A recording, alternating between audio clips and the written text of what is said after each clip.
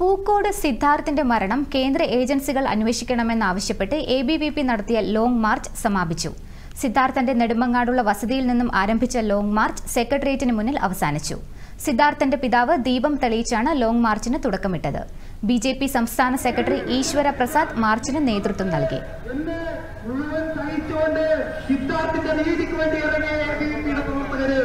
തീർച്ചയായിട്ടും കുടുംബത്തിന്